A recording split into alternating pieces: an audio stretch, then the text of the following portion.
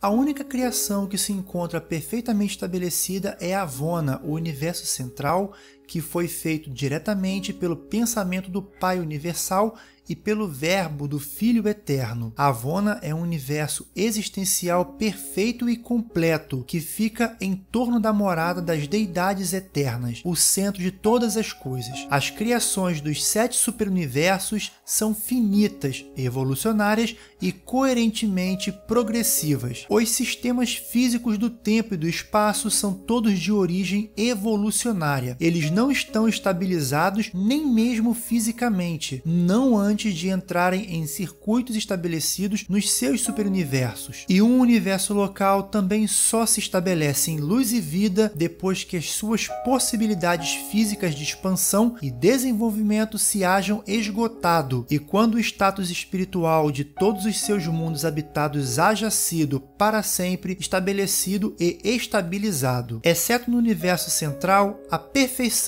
é alcançada progressivamente. Na criação central, temos um modelo de perfeição. Todos os outros reinos, todavia, devem alcançar a perfeição pelos métodos estabelecidos, em particular para o avanço dos mundos ou universos. E uma variedade quase infinita caracteriza os planos dos filhos criadores para organizar, fazer evoluir, disciplinar e estabelecer os seus respectivos universos locais. À exceção da presença da deidade do Pai, cada universo local é, em um certo sentido, uma duplicação da organização administrativa da criação central ou modelo. Embora o Pai Universal esteja pessoalmente presente no seu universo de residência, ele não reside nas mentes dos seres que se originam naquele universo dele, do modo como literalmente ele reside nas almas dos mortais do tempo e do espaço. Parece haver uma compreensão infinitamente sábia no ajuste e na regulamentação dos assuntos espirituais na imensa criação. No universo central, o Pai está pessoalmente presente,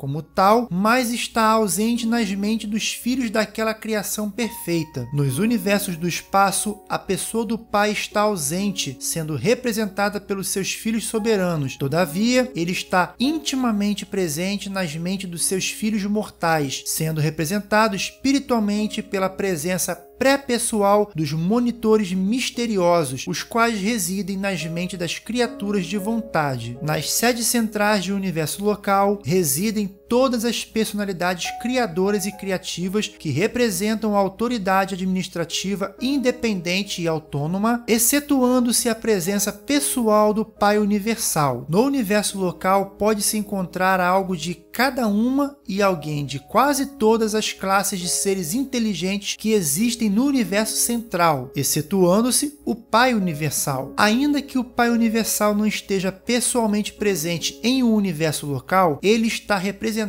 pessoalmente pelo seu Filho Criador, que é, por algum tempo, o vice-regente de Deus e, em seguida, o governante soberano e supremo por direito próprio.